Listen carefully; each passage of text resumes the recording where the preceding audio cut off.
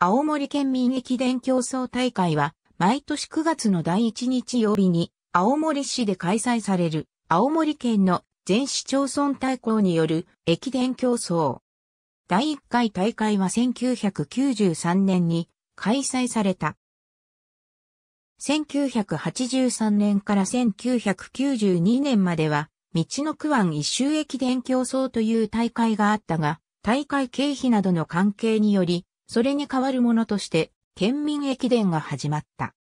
現在のコースは、青森県観光物産館アスパム前から、青森県総合運動公園陸上競技場までの8区間 33.8km。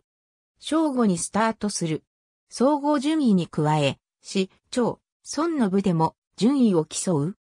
第9回までは、青函連絡船メモリアルシップ、八甲田丸前から青森県総合運動公園陸上競技場までの10区間 42.195km で競技が行われ、第1区は青森ベイブリッジを経由して第1中継所につながるコースをとっていた。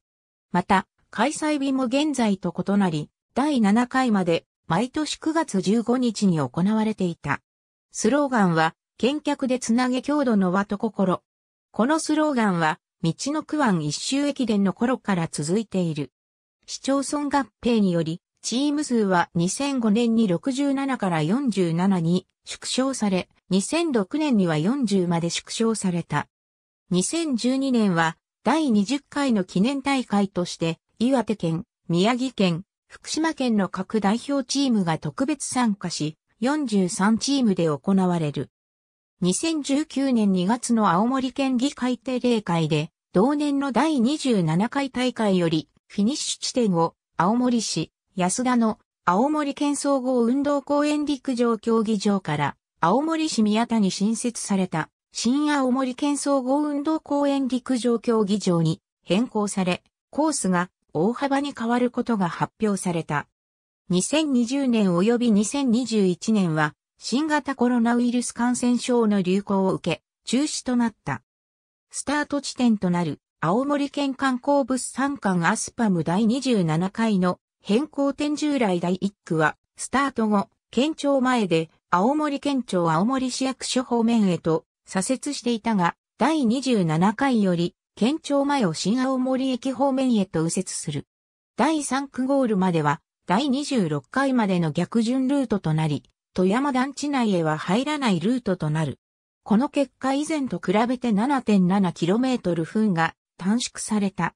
第27回は新県、総合運動公園陸上競技場竣工記念で、小学生の部が新たに導入された。なお、このコース変更は1回限りのものなのか、今後も継続して新コースで行われるのかは正式な発表がないため、不明である。市の部、町の部、村の部、太字は総合優勝テレビラジオ中継は、青森放送のテレビラジオで放送されている。番組タイトルには、道の区銀行スペシャルの冠がつく。道の区銀行は第1回から大会や中継に全面協力している。なお、以前は道の区銀行の単独提供だったが、その後は同社の関連会社などが加わった複数社提供に変わっている。かつては番組内で流れる道の区銀行の企業イメージ CM が1993年の放送開始以来流れていた。1号車として使用される日本テレビ中継車107号新陸上競技場、こけら落としは県民駅伝 RAB ニュースレーダー第28回青森県民駅伝競争大会青森県庁2021年7月26日閲覧。第29回青森県民駅伝競争大会。青森県庁。2021年8月2日閲覧。第27回青森県県民駅伝競争大会。現場リポートナイトロ株式会社。日テレテクニカルリソーシズ。県民による県民のための青森県民駅伝に参加。日本テレビ、読売テレビ、テレビ岩手、宮城テレビの4局には現役で福士敦、虎谷敦子、渡辺祐介、畑山敦水本豊、森智子といった地元青森県出身者が在籍している。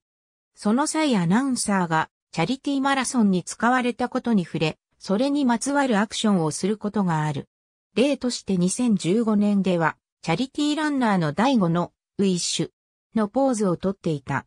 2016年は、チャリティーランナーの林家太平にちなみ駅伝を題材とした謎かけを披露した。近年では、RAB の穴以外での担当は野坂のみとなっている。日本テレビ所有の1号車は2006年にハイビジョン対応に更新されている。ありがとうございます。